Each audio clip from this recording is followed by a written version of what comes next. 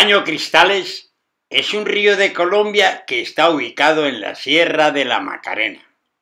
Se le llama el río de los dioses, el río de los siete colores, el arco iris que se derritió o también el río más hermoso del mundo. En su fondo se reproducen algas de diversos colores que producen la sensación de estar frente a un río de colores, rojo, amarillo, verde, negro, azul o rosado. Es un río de escasa longitud y anchura, pero muy curioso y hermoso. Solamente alcanza los 100 kilómetros de longitud y no sobrepasa los 20 metros de ancho. En una sucesión de rápidos cascadas y pocetas. Su nacimiento se produce en la meseta sur de la serranía de la Macarena, en una zona escarpada en la que se encuentran numerosas pinturas rupestres inexploradas. Las aguas son transparentes, permiten ver el fondo y toda la magia que encierra este hermoso río, que recoge a su paso afluentes de las sabanas rocosas de la sierra. Por ser rocoso el lecho de caño cristales, una lluvia de moderada intensidad provoca que su caudal aumente de una manera impresionante. Durante el verano, las aguas se secan y las plantas rojas tienen entonces posibilidad de reproducirse. De la serranía de la Macarena bajan varias corrientes de agua, pero solo caños cristales, el río de los colores, ha sido llamado el más hermoso del mundo. Incluso fue llamado el río que se escapó del paraíso.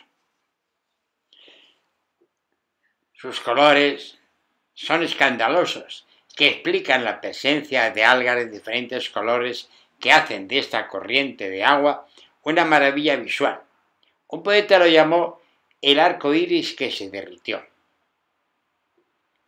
Las rocas de la Macarena alcanzan los 1.200 millones de años de antigüedad y constituyen la prolongación hacia el occidente del llamado escudo guyanés de Venezuela, Guayana y Brasil, cuyas rocas son consideradas las más antiguas del planeta.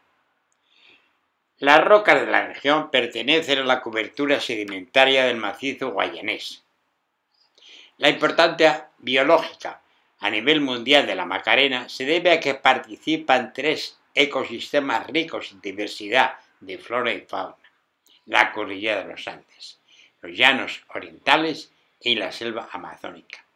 En cada brecha los nuevos gérmenes apresuran las gestaciones. Decía José Eustacio Rivera en La Vorágine, refiriéndose a este tipo de vegetación.